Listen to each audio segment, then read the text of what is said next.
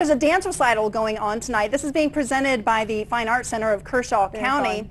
And uh, there's a dance pro- program over there run by Alexis Kelly, and she was nice enough to bring in some dancers this morning. to Give us I'm a little so sneak glad that she did. I know, we're so lucky here in the studio. So now I want to introduce you all once again to Amanda and Casey Smith, who are now going to be performing some uh, a clogging dance, yes? Yes, ma'am. How long have you been clogging?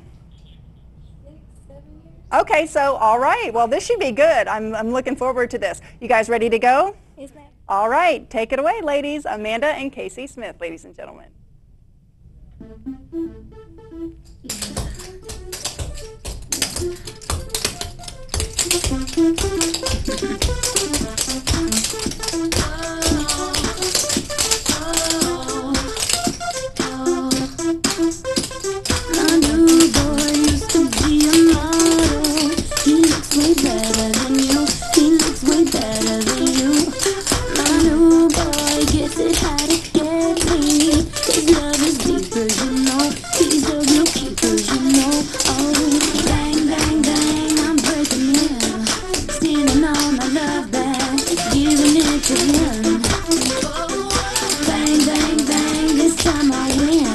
i thought your love was all that